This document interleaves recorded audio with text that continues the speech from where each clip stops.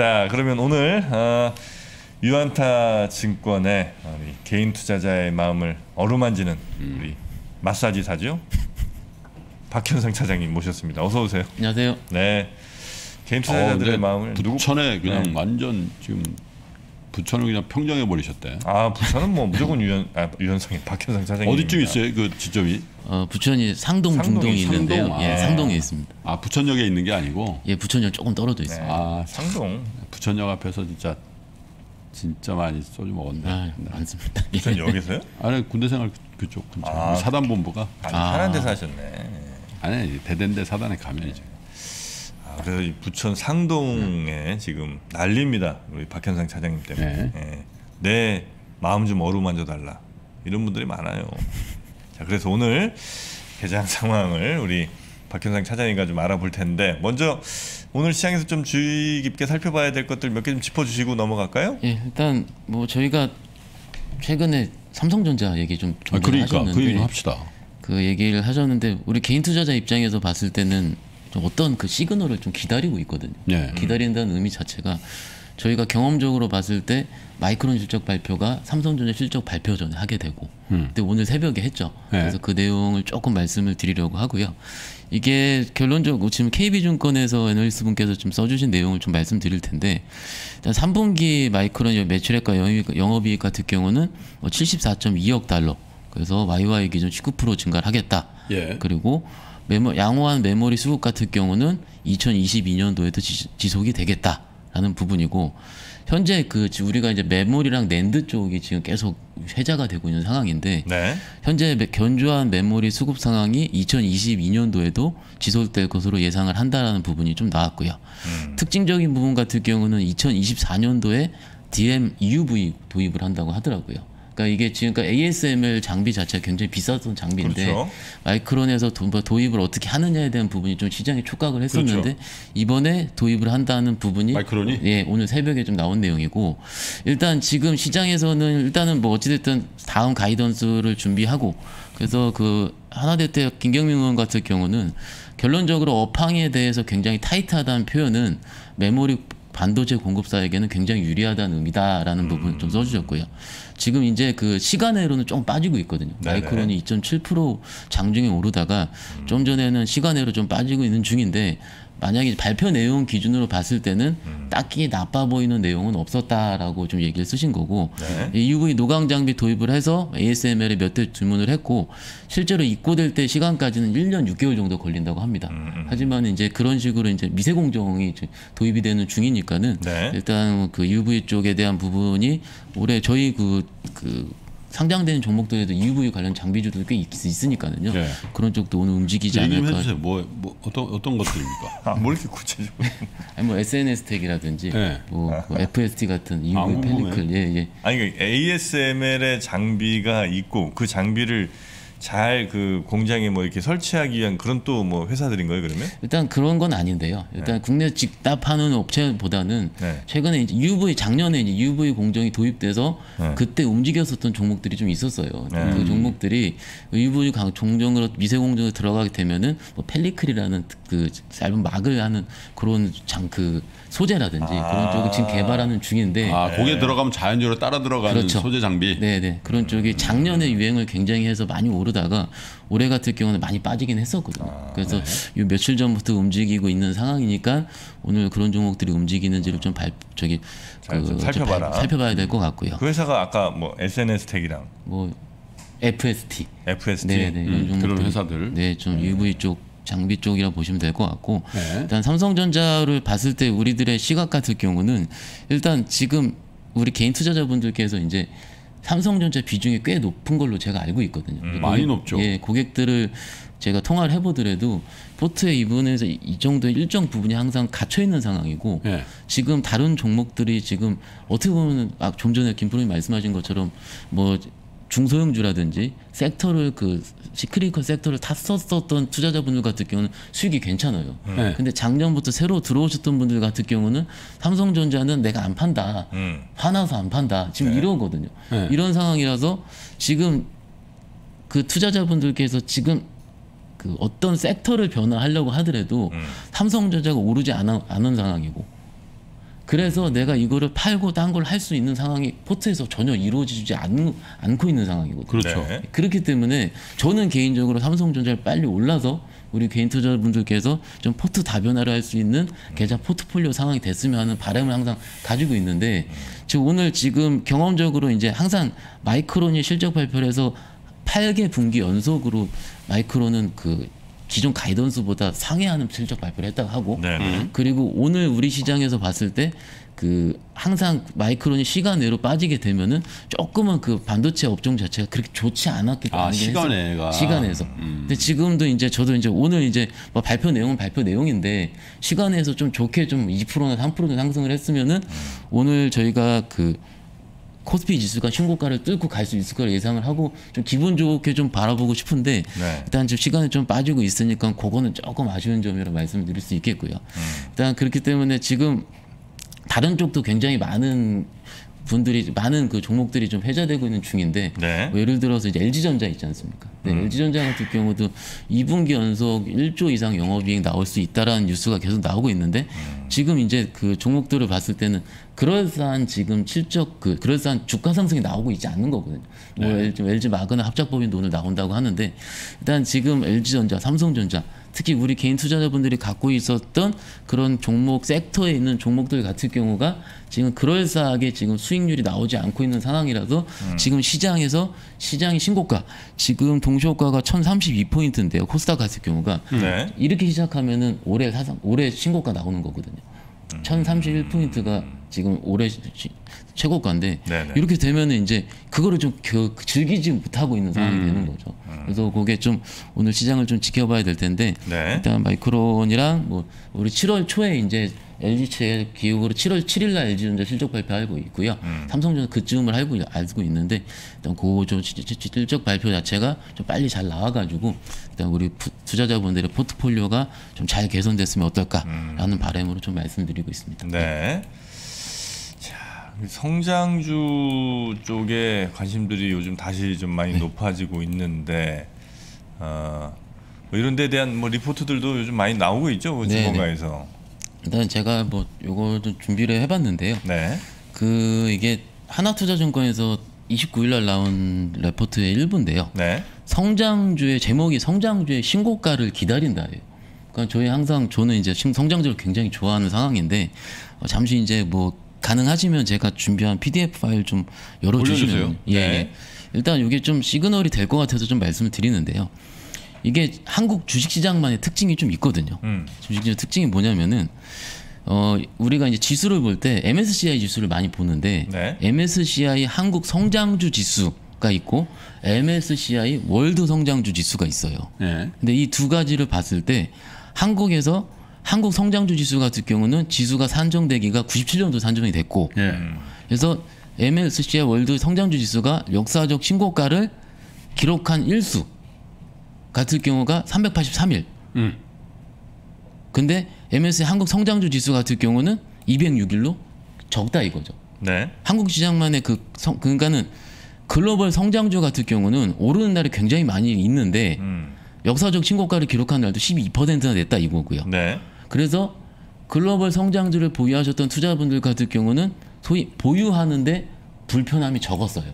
재미도 좀 보셨고. 그렇죠. 네. 근데 국내 성장주 같은 경우는 하락하는 날이 더 많고 음. 그리고 역사적인 신고가를 기록하는 날 같은 경우도 글로벌 대비해서 반밖에 되지 않는 상황이니까 네. 어, 이게 뭐냐면은 빠르게 오르고 보유하기가 불편하다 이거죠. 네. 그래서 무엇보다 매수 기회가 전체 거래일의 3%밖에 되지 않는 상황이긴 하니까 음.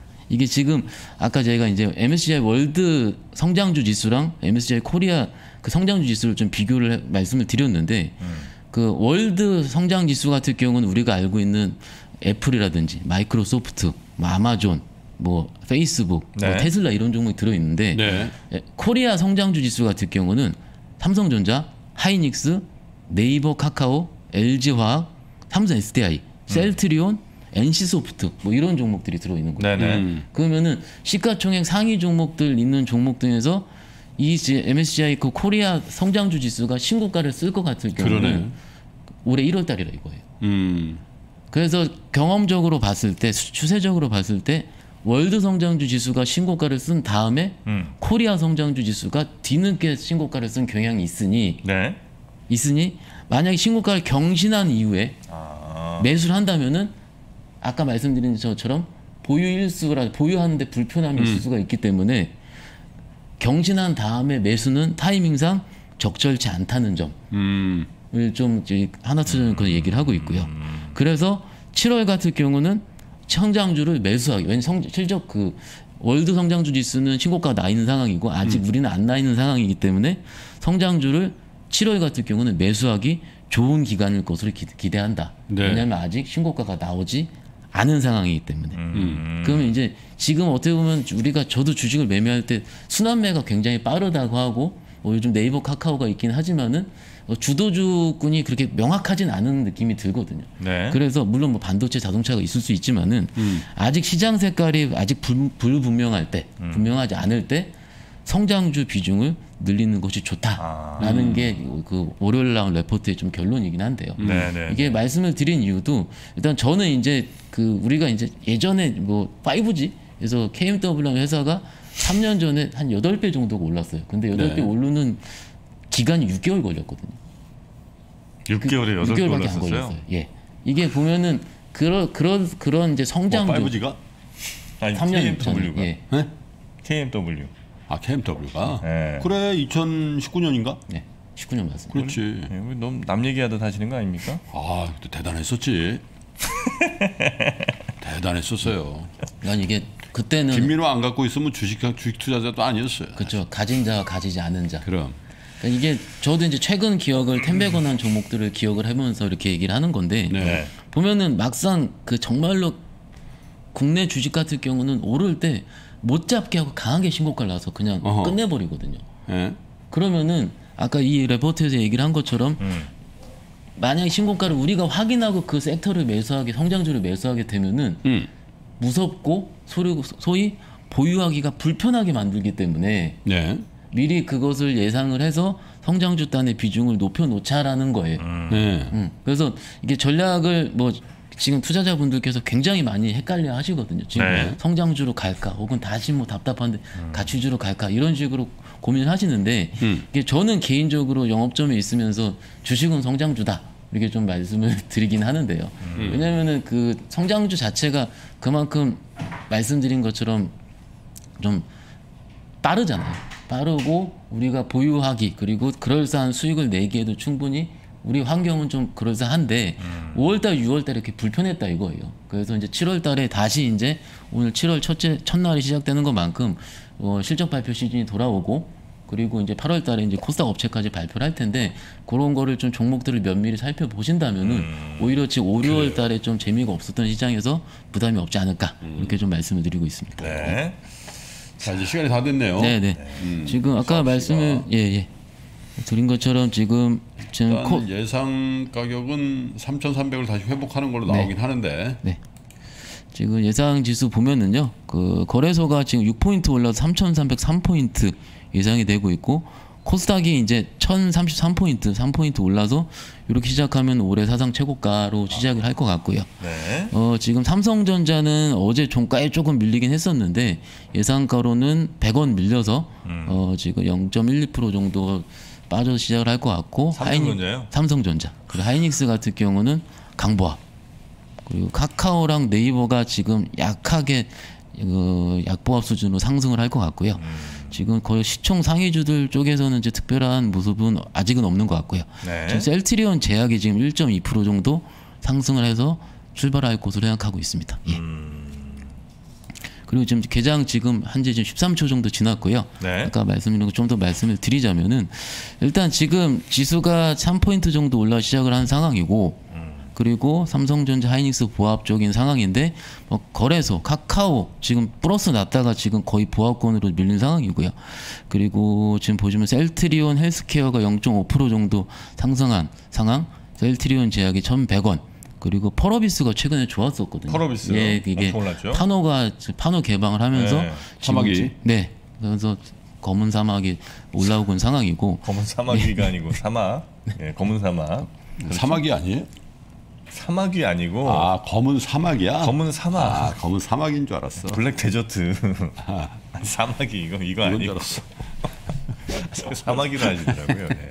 유머야 유머. 검은 사막. 아 유머라니까요. 네, 알겠습니다. 왜 실수하면 다 유머라고 하죠 보통. 네. 자 그리고요. 예, 검- 검은사막 아 그래서 그 어떻게 어떻게? 게임에 별로 관심이 없어가지고. 펄어비스가 어떻게 됐다고요? 포로이스 지금 저기 약보합 수준으로 상승하고 출발한 상황이고요. 지금 어제 우리 장 끝나고 이제 거리두기가 다시 일주일 연장이 됐잖아요. 네. 그리고 이제 델타 변이도 지금 계속 확산되고 있는 상황이고, 그래서 오늘 이제 진단 키트 업체 지금 시젠이 지금 4% 정도 상승해서 아, 시장 요즘 계속 오르네. 뭐 그제까지 좀 이틀은 좀 밀렸었는데 아 그러니까 최근에 최근에 굉장히 네. 가파르게 오르고 있어요. 예. 그래서 지금 최근에 이제 진단 키트 업체들을 지금 저도 이제 매매를 해볼까 말까 많이 음. 여쭤보시긴 하거든요. 근데 뭐 그거는 뭐 각자 판단에 맡기기로 하고요. 이럴 때 좀 많이 얘기하시는 게 확진자 수를 우리 투자자분들이 직접 예측을 하세요. 네. 예측을 한다는 아, 표현이 확진자 수도 왜냐면 이제 주말에는 줄어들 것 같고 이제 이제 어제 800명 나왔고 오늘 700명 나왔고 다시 이제 이태원이 확산한다면 그럼 이제 그런 식으로 예측하면서 진단 키트라든지 기타 뭐그 코로나 관련주들을 매매하시는 분들도 있는데 일단 그런 예측보다는 이제 현상에 집중할 필요가 있다라고 말씀을 드리고 있고요. 그리고 코스닥 쪽에서 반도체 소부장 쪽에서는 지금 뭐 유니테스트라든지 한미반도체 같은 소부장 업체들이 조금씩 오르고 있는 상황인데 저 오늘 이제 한미반도체라는 업체가 2.3% 정도 오르고 있거든요. 네. 네, 최근에 제가 시장 조금 말씀드리면은 지금 즉 최근에 이제 소부장 쪽이란 반도체 중에서 장비 소재 업종들에 대한 종목들의 레포트가 좀 쏟아져 나오고 있는 상황이에요. 그래서 쏟아져 나와서 그 종목들이 커버가 되고 있느냐 안 되고 있느냐의 차이에 따라서 종목들이 굉장히 크게 오르고 있는 상황이고 어제 제가 마감에 잠깐 말씀드린 것처럼 어, 비메모리 반도체, OSAT 업체 종- 업체 종목들도 지금 레포트가 나오고 있는 상황이거든요. 네. 근데 오늘은 한미반도체도 한 2% 정도 상승하고 있는데 이분 실적 굉장히 좋을 것 같다는 부분이 오늘 보고서로 아침에 나와가지고 네. 아마 지금 상승을 하고 있는 것 같고요. 한미반도체 뭐 네. 우리 3%한테 아무 비즈니스도 의미도 없잖아요. 이거 B2B라서 한미반도체 다 삼성전자 납품이죠 거의. 그렇죠, 거의 그렇습니다. 여기다가 패널을 세워주셨던 아 좀 감사합니다. 한미반도체 예. 떠났어도 참. 아, 좋은 회사예요. 예. 아 그러니까 뭐 만드는지 잘 모르지만 반도체 만드는 거 반도체 한미 반도체는 참 반도체 장비 아니에요? 검사 장비, 예, 예. 검사 아, 장비. 검사 장비 아, 좋은 회사입니다. 좋은 회사고요. 그리고 이제 좀 특징 섹터에서는 화학 섹터, 네. 효성화학이 지금 4.7% 정도 오르고 있는 상황이고요. 효성화학 같은 경우도 2분기 실적 가이던스를 추정치를 지금 상향을 했어요 오늘 아침에. 아 근데 효성 그룹들이 좀 세더라고. 굉장히 셉니다. 요즘. 효성 TNC 같은 거 진짜 그 아, 그렇죠. 효성- 엄청 올랐어요. 효성 다시 TNC는 오르더라고 그거. 그 올해 그 올해 주식이야 이거. 올해 히어로 종목이죠. 히어로예 히어로. 그러니까 스판덱스. 야. 예. 아, 그러니까는 이제 살려고 했는데 진짜로는 아 진짜 살려고 그랬거든요. 효성 TNC 아, 그때 누가 오셔서 되게 좋다고 그랬었어요. 효성 TNC가 그 얘기 했었지 중국의 중국의 2위 업체가 주가가 10배라고 뭐 그런 얘기 했었잖아. 네. 작년 작년 하반기에. 그 내가 아 이거 괜찮은데 음. 마음속에 두고 있었거든요. 아, 그런 것만 싹싹 피해가냐. 아, 진짜 네. 너무 마음이 아프다 진짜. 근데 이게 이런 종목들 보면은 네. 이게 저희가 기술적으로 봤을 때 강하게 올랐다가 네. 빠지지 않고 옆으로 이제 횡보를 하게 되거든요. 이걸 이제 기술적으로 고가놀이 패턴이라 얘기를 하는데 네. 우리 투자자분들이 이제 이 고가놀이 패턴을 하고 있다라는 의미 자체가 무슨 물이요? 고가놀이, 고가. 고가 놀이를 하고 있다라는 아, 고가 놀이? 예, 그러니까 기술적으로 아, 상승한 다음에 음. 빠지 조정을 받지 않고 그 가격대에서 한참 그, 그 이제 횡보하는 걸 고가 놀이 네. 패턴이라 얘기를 하는데 이런 종목들이 이제 이러다가 추정체가 좋게 나오면은 갑자기 상승을 좀 해요. 음. 그러니까 이게 그만큼 시장에서 이제 실적을 기대하고 있다라는 거고 어, 오늘 이제 효성화학도 3.7%, 효성 첨단 소재 1.7%, 효성 TNC도 거의 강보합 수준이니까는 이런 효성 그룹주도 굉장히 좋은 상황이거든요. 아, 그러니까 사실 그룹 이미지는 그렇게 썩 좋지 않았잖아 그때 뭐. 어? 네네네. 그 삼부자 뭐 또뭐 네. 이렇게 해가지고 근데 아 나는 또 그런 거 잘 안 안, 손이 안 나가더라고. 근데 정경 분리해야 되는구만. Business is business. Business is business네. 네. 네? 몇번 말씀드렸죠. Business is business. 네. 그 뭐- 레깅스 지금 난린데. 그러니까 뭐 저희 식으로는 이제 실적이 깡패라는 얘기가 좀 있잖아요. 네. 실적이 깡패다. 네, 네. 그 아무리 아. 그러더라도 실적은 쫓아가니까는요. 아 그러네. 지금 시기일수록 실적을 미국, 좀 미국 애들이 비즈니스 비즈니스 그러면 아 박현선 실적이 깡패요. 자, 그리고 2차 전지 쪽에서는 지금 배터리 3사 중에서 어제 SK 이노베이션이 많이 올랐었거든요. 예. 근데 지금은 삼성 SDI가 1.2% 정도 오르고 있는 상황이고요. 뭐 SDI도 최근에 애널리스트 보고서 계속 쏟아지고 있는 상황이에요. 그래서 지금 같은 경우는 실적 시즌이 돌아오면서 그런 그 실, 애널리스트 분들께서 혹은 시장에서 회자되고 있는 종목들이 얼만큼 많냐에 따라서 그 종목들이 지금 어, 상승 기류가 굉장히 강화되고 있는 상황이고요. 네. 그리고 오늘 좀 특징적인 종목도 OCI가 오랜만에 3% 정도 오르거든요. OCI. 네. OCI. 예, OCI 같은 경우도 최근에 뭐 태양광, 친환경 쪽 굉장히 재미없잖아요. 재미없는데 불구하고 오늘 또 내용이 나온 게 일단 올해 추정치 기준 퍼가 3배 정도밖에 되지 않는다. 그 폴리실리콘 가격 상승을 반영해서 지금 주가 수준을 봤을 때는 굉장히 저평가라는 부분이 오늘 아침에 좀 나온 상황이거든요.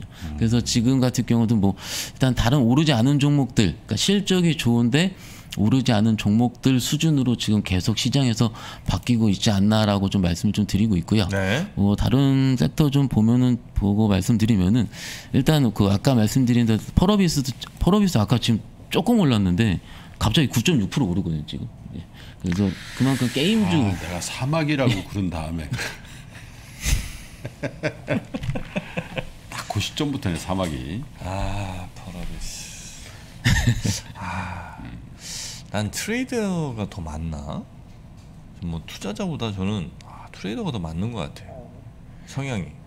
뭐 아직 뭐 지금 할 수 있는 상황은 아닌데, 아 저는 잘할 것 같아요. 그. 개인의 성향을 아는 것도 굉장히 중요한 네. 투자 같습니다. 예. 트레이더야. 자, 네. 그래서 지금 예. 펄어비스가 9% 넘게 그리고 지금 있고. 게임 섹터가 오전 저기 한 5분 전까지는 조용하다가 네. 지금 넷마블이 2.6% 오르고 있는 상황이고요. 넷마블이요? 네 네. 아 파노 나오는 모양이구나. 지금 파노- 기대를 하고 있는 거예요. 그러니까 파노구나 예. 파노. 기다리는 중이고 지금 아, 카카오 게임 파노가 예. 파노가 된다라는 거는 그한 씨가 곧 온다는 얘긴데 그 저기 시진핑 아저씨. 네. 예. 원래 원래 그 움직일 때는 뭘 하나 줘. 그렇죠. 음, 항상 그랬어. 원래 움직이잖아요. 그러면 뭔가 꼭 줘. 네네네. 그러니까 이게 정상회담이라든 이런 부분이 오게 되면은 음. 어느 정도는 패키지화해서 이제 거기 made가 된 경우도 많았다고 저도 좀 알고 그러니까. 있는데요. 일단 그럼 이때 우리는 딱 하나 더 줄 게 뭐냐? 라고 예측을 해야죠. 면세점 이런 거 아닐까? 카지노? 카지노? 카지노. 음. 카지노? 아, 오면은 아니 카지노 뭐? 시진핑이 왔는데 중국 사람은 안 오겠냐 이거지. 카지노 뭐예요? 카지노 뭐예요? 그것까지는 자기가 공부하고 공부하죠. 뭐 그 찾기 쉽, 쉽습니다. 아, 그래요? 예, 예.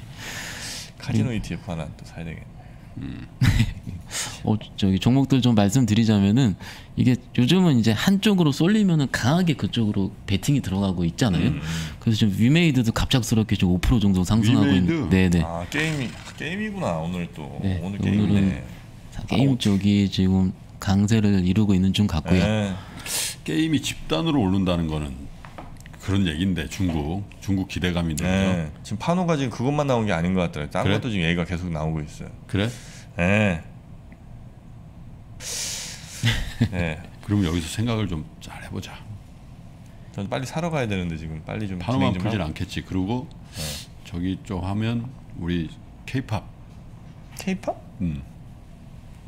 K-팝은 이미 즐기고 있는 거 아니에요? 아니지. 아 정식 정식으로 그렇지. 이렇게 네. 아, 드라마 K 드라마. 그렇지. 아 그러네 드라마네. 드라마. 그러면 지금 스튜디오 데려곤이나 이런 데 어떻게 움직여? 초록뱀 이런 거. 최근에는 재미 없었고요. 그 네. 중에서는 이제 CJ ENM이 가장 강하게 올라오고 있었던 상황입니다. 예, 예. 아, 자 여러분 못 들은 걸로 해주세요. 네, 여러분 방금 얘기 못 들은 걸로 해주세요. 예, 그냥 그리고 내피셜이지 뭐. 저 혼자 가야 되니까. 근데 이게 저는 그 이런 그 우리의 그 상상 자체가 네. 예. 주가로서 이루어져서 맞출 때가 가장 짜릿하거든요. 음, 항상 이제 저희도 이제 공부를 하면서 보고서를 보고 그 다음을 예측하고 현상을 집중으로 하는데 오히려 최근에는 제가 전화를 받고 하는 게 이제 장이 좀 재미없거나 그럴 때 그 투자자분들이 많이 성숙해지셔가지고 전화 오셔가지고 내가 현금 이만큼 있는데 이, 이런 종목들을 갖고 있는데 뭘 채워야 돼라고 여쭤보세요. 음, 작년 재작년 같은 경우는 그게 여쭤보시는 게 다르게 여- 여쭤보셨거든요. 나의 물려있는데 어떻게 해야 되느냐인데 지금은 굉장히 성숙도가 바뀌고 있는 중이고 저도 오히려 어디가 좋을 것 같냐라고 여쭤보는 중이거든요. 아 고객들에게. 네. 왜냐하면 그 저만의 아이디어 혹은 고객들 합쳐져서 좋은 아이디어가 나올 수 있기 때문에 어, 이렇게 좀 말씀을 드리고 있고요. 아니, 손님 중에 진짜 잘하시는 분 있죠. 예, 몇 분. 아, 나보다 진짜 잘한다 이런 분 있죠. 있습니다. 꼭 있거든. 있습니다. 그분 좀 한번 데리고 나오세요. 한번 모셔볼까요? 한번 진짜로. 그럼 한번 해보려 그래. 아니 뭐 꼭 증권회사 직원만 하나 주식을. 네, 부천 대표 선수로 개인 투자자 진짜 이분은 와 계좌로 증명되는 분 있잖아요. 네. 예? 말만 하는 거 말고 예. 입으로만 하는 거 말고 진짜로 한번 제가 간곡히 부탁드려 보겠습니다. 저기 저 출연료도 드린다고. 알겠습니다. 아 드라마 그 사지 말라니까. 왜? 아직 막 다 들어오고 있나 봐요 지금. 아까 마이너스에서 갑자기 지금 플러스 막 이렇게 올라요. 야 그럴 때 돼서 그런 거야 뭐. 자가당착을 하지 마. 다 그냥 시장은 시장대로 아, 움직이는 다 거야. 내 뭐 말대로 정프로- 움직여. 정프로 말 한마디에 움직이는 줄 알아요? 아 어떻게 해 정프로. 아, 그리고 이제 컨텐츠 드라마 제작사들이 있잖아요. 네. 그 최근에 좀 많이 빠져 있어요. 뭐 음. 이, 이 이유가 이제 1분기에 굉장히 그 기대감 때문에 많이 올랐었다가 네. 2분기 추정치가 좀 많이 하향을 해서 지금은 조금 주가가 빠져 있는 상황인데 음. 최근 보고서 보면 3분기부터는 다시 이제 신작 드라마라든지 발표가 될 예정이 있으니까 다시 네. 기대감 있는 시기라서 바닥권에서 조금씩은 좀 상승하고 있는 상황이긴 하거든요. 아까 말씀드린 뭐 종목들도 그런 상황이니까는 네. 들고 계신 분들도 좀 3분기 기대감이 있어 시기가 충분히 다가오고 있으니까는 좀 힘들더라도 좀 버티시면 어떨까 이렇게 말씀을 드릴 수 있겠고 네. 지금 아까 저기 실적이 깡패라라고 좀 말씀을 좀 드렸는데 지금 최근에 골프 회사 들 골프 관련 뭐 의류 회사든 이런 종목들이 있는데 아, 골프. 예, 오늘은 어쨌든 변이 바이러스 확산 때문에 뭐 그 골프 의류 관련주들이 좀 빠지지 않겠습니까? 음. 그런데 지금 골프존이라는 회사는 저 오늘 그래도 플러스거든요. 굉장히 강하게 골프존? 신고, 예, 신고가가 나오는데 어찌됐든 골프존 같은 경우는 실적이 증명이 되고 있는 중이기 때문에 음. 이런 변동성에도 불구하고 변을 불구하고 짱짱하게 잘 버티고 있는 중이거든요. 근데 골프존 카카오한테 되겠어요? 일단 그거 같은 경우는 저도 이제 나중에 좀 실적을 좀 봐야 되긴 할 텐데 어뭐 저는 일단 지금은 추세는 유지될 거로 생각하고 그래요? 있습니다. 예. 왜냐면 이게 골프존이 골프존 GDR이라 그래서 음. driving range라 그래가지고 이제 그 실질적으로 이제 시- 처음 입문하신 분들 그걸 테스트를 해준다 하더라고요. 음. 그 자체가 이제 그 실질적으로 필드에 나가지 못하고 내 나의 이제 시뮬레이션 통해서 확인할 수 있고 GDR 가입자 수가 굉장히 가파르게 증가하고 있고 그 실적 증가세로 이루어지고 있는 중이기 때문에 그게 작년부터 올해 너- 올 이어지고 있는 현상이거든요. 그러면 이제 그 기, 기존의 이제 골프 유저들 같은 경우가 트렌드가 바뀌고 있는 중이라고 증명이 되는 거라서 그런 추세를 이제 뭐 다로 뭔가 이제 큰 업체가 뛰어들어서 바꿀 수 있는 상황은 좀 시간은 좀 걸리지 않을까 개인적으로 생각- 골프 저 복 만드는 회사는 네. 어- 어디 저 상장사 어디 있죠? 골프 의류. 네. 골프 의류? 우리 같은 경우는 이런 건가? 까스텔바작 그리고 이제 핑 아시잖아요. 핑. 예, 그 크리스 그 크리스 F&C 예. 이두 핑은- 종목 그 정도. 핑은 저거잖아요 미제. 그렇죠. 그거 수입 저거. 그 OEM ODM이라는 OEM, 예. ODM. 그리고 이제 필라홀딩스라고 필라홀딩스. 예, 필라홀딩스가 골프공. 네 골프인데 타이틀리스트 있잖아요. 타이틀리스트. 필라홀딩스가 이제 미국의 아쿠쉬네트 홀딩스라 그래가지고 그 타이틀리스트 대주주죠? 예 지분을 갖고 있는 거라서 그 필라홀딩스도 어떻게 보면 골프 근데 이제 의류 골프 복도 요즘에 보면 뭐 특정한 브랜드를 얘기해서 뭐 합니다. 젊은 분들이 특히 여성분들이 이제 골스타그램이라 그래요. 그걸 인스타그램을 골프장에서 아. 골스타그램이라 하는데 그 사진 사진 찍으러 골프장 가는 것 같아. 진짜 음. 딱 인증샷은 근데 또 옷이 이제 핏이 딱 맞고 딱 네. 좋아야 되잖아. 음. 그리고 브랜드도 좋아야 돼. PXG라는 게 있거든. 네. 이제 PXG. PXG. 네, 근데 그것도 in Korea일 걸 PXG. 근데 이제 그 되게 비싸요 고가 브랜드 클럽도 비싸고 그리고 이제 한섬 한섬이라고 현대백화점 현대백화점 판 거죠. 그분이 이제 사우스케이프라고 그 저기 남해 가면 진짜 요즘에는 뭐 다 비싸지 옛날에 막 십몇만 원 할 때막 38만 원 받고 그런 골프장이 있어요. 사우스케이프 브랜드가 나왔거든. 그래서 야 그거 괜찮겠네 그랬는데 어제 내가 들은 바로는 대여를 한다네. 골프 옷을 골프 옷을 예, 그거 처음 들었어요. 골, 아, 너 처음 들어줘. 나도 네네. 근데 야, 그 사업이 괜찮은데 어차피 골스타그램인데 그거 한 티셔츠 안에 3, 40만 원씩 해요. 한 번 입고 또 그렇지. 근데 또 아깝고. 계속 같은 거 입잖아. 나는 솔직히 골프 골프장에 가면은 한 3년 동안 계속 같은 거 입어요. 그리고 이제 헤어지면 저 빵꾸 나고 그러면 이제 다른 거 사고 그러는데 젊은 분들 사진 골스타그램을 하니까 대여업을 한다 그래서 야 그러면 실적이 별로 안 좋을 수도 있겠다. 진짜 빌려 입으면 그런 생각도 들더라고. 네. 요 대여업 한다는 거 얘기 들어보셨어요? 그 처음 들었습니다. 예. 저도 어제 처음 들었는데 한번 빌릴 때 5천 원인가? 싸네. 30만 원 주고 20만 원 주고 사가지고 네. 100번 돌리면 얼마입니까? 5천 원씩 50만 원이잖아. 그렇죠. 그럼 싼 건가? 아 그래도 한 번 입는데 5천 원 빨아야 되나? 응, 그 정도는 뭐 괜찮은 거죠. 자, 하여튼 아, 골프 얘기는 요 정도로 하고요. 네. 아니 골프 산업을 얘기한 거죠. 자, 또 오늘 특징주들 뭐 그런 친구들이 좀 있는 것 같다. 예, 그 저희가 얘기하는 중에 좀 코스피가 좀 하락 반전을 좀 했어요. 아, 네, 하락 그래서- 반전 했어요? 네, 네. 그래서 지금 마이너스 5포인트 정도 되는 상황이고요. 지금 그 기관 외국인들 지금 수급 자체는 좀 좋은 상황은 아닙니다. 지금 매도하고 있는 상황이라서 지금 외국인이 지금 거래소에 345억 정도 매도하고 있고요. 그리고 기관들도 좀 매도하고 있는 상황이 코스닥도 좀 같이 좀 매도하고 있는 상황이라서 조금은 수급적으로는 좀 매끄러지 않다. 이렇게 좀저 결론적으로 말씀드릴 수 있겠습니다. 네. 자, 그리고 오늘 보니까 우리 차장님께서 네. 어, 음식료에 대한 뭐 또 전략 뭐 이런 게 아마 좀 보고서 나온 게 있는 모양이죠? 네, 그 NH투자증권에서 음식료 업종 그 비수기 이유를 노려볼 때라는 제목으로 어제 좀 레포트가 나왔고요. 음. 많이 좀 음식료 업종 들고 계시면 많이 좀 그 답답해 하시더라고요. 좀 네네. 최근 주가가 움직이지 않아서 이제 주식적으로 봤을 때 이제 그 음식료 업종 같은 경우는 이제 원재료 가격 원가 부담에 대한 부분이 항상 회자가 됐었던 상황이고요. 네. 지난 하반기 이후에 밀이라든지 옥수수, 뭐 대두 이런 쪽이 가파르게. 상승을 했죠. 네. 근데 그 NH 같은 경우는 이제 2분기 이후에는 상승세가 둔화될 것으로 예상을 한다. 원재료들의 네. 네. 이유 같은 경우는 이제 현재 주요 생산 지역별로 날씨가 개선되고 있는 부분이 포착이 되고 있기 때문에 작황 악화 우려를 좀 해소시킬 것으로 기대를 한다는 거고 네. 이게 원재료 가격 부담 같은 경우는 이렇게 일반적으로 3개월에서 6개월 정도 레깅으로 좀 실적이 반영을 한다 하더라고요. 아 지체돼서 네. 지- 그럼 레깅으로 반영을 하면은 근데 최근에 그 음식료 업체들 그 뉴스단 보시면은 그 제품 가격 인상을 최근에 하고 있잖아요. 음. 그 그런 부분이 원가 부담 또한 원가 부담이 높아지긴 하지만은 우리가 이제 그 어, 그 이제 제품 가격 상승을 통해서 하반기에는 이게 스프레드가 과거 대비 확대돼서 수익성 개선에 기여될 수 있을 거다라는 부분이 좀 회자가 있는 중이고 그러면 우리가 이제 2분기를 좀 봐야 되는데 2분기 같은 경우는 3분기 전에 있는 끼어 있는 시기인데요.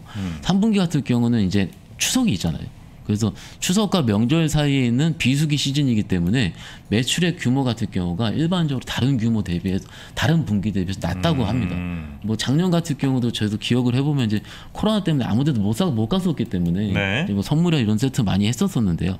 그래서 작년 같은 경우는 코로나 19 때문에 작년 2분기 같은 경우는 평년 대비해서 큰 폭의 이익 증가가 있었기 때문에 이걸 이제 역기조 효과라고 얘기를 하시더라고요. 음. 그러니까는 이제 막상 우리가 주가가 가파르게 상승할 때는 기조 효과 때문에라도 지금 우리 상승해야 된다 이런 얘기가 나오는데 지금 같은 경우 2분기 실 음식료 업체들의 그 실적 같은 경우 2분기는 역기조 효과이기 때문에 최근에 좀 눌려 있을 수 있다 이렇게 좀 해소할 수 있는 거고 이제 그 음식료 내에서 이제 섹터별로 보면은 우리가 이제 식자 유통이라든지 외식 업체들이 있잖아요.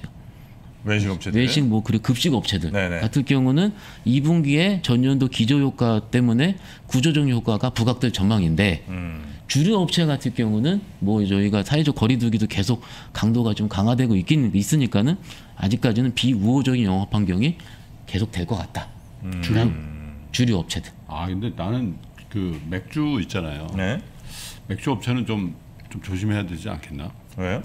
아니 뭐좀 마- 봄편이 말편이 뭐 그게 훨씬 더 맛있다고 지금 난리인데 뭐 네, 경쟁이 심화되고 있- 예. 아. 뭐. 봄표 맥주 근데 그거 다 기존 맥주 회사들이 만들어주는 거 아니에요? 그런 거예요? 아닐 걸? 아, 그 다른 다른 업체. 아 각자가 아 이게 수제 맥주잖아. 수제 수제, 맥주. 맥주, 아, 수제 맥주. 아 그럼 그 왜냐면 거기가 이제 밀가루 뭐 이런 거 아, 그 밀맥주 만드는 네. 거예요? 그렇지. 근데 곰표 없어서 말표 먹으니까 약간 호불호가 있다 뭐 그런 게 댓글이 엄청 날리잖아. 아 말표도 맥주 만들어요? 있나 봐. 예, 그거를 구했다고 이제 스스로 인증하시는 인증하고 막. 곰표 예. 맥주 먹었다 인증샷 날리고 그래. 음. 근데 그게 다 그 소비자가 어디서 나왔겠어? 뭐 카스, 뭐 하이트 아, 결국 이런 기존. 소비자들. 뺏어 먹는 거니까. 음.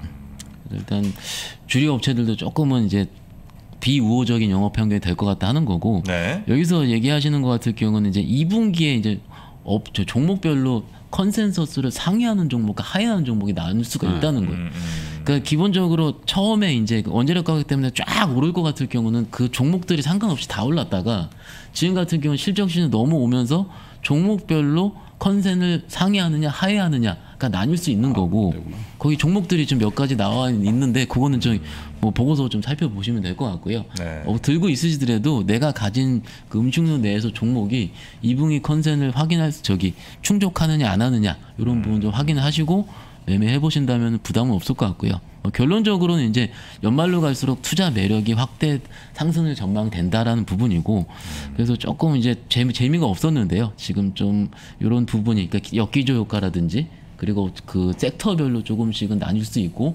종목별로 컨센 충족하는지 나뉠 수가 있기 때문에 좀 종목별로 좀 그 세분해서 살펴보신다면은 부담이 없지 않을까 싶습니다. 네. 곰표노 맥주는 롯데칠성이 만들어준다네. 말씀을 받습니다. 아 그래요? 어, 그거 봐요. 먹어봤어야지. 그렇지 한 번 도 안 먹어봤거든. 한번 먹어봅시다. 하여튼 아, 그런 내용들이 오늘 또 보고서에서 보였던 내용인 것 같습니다.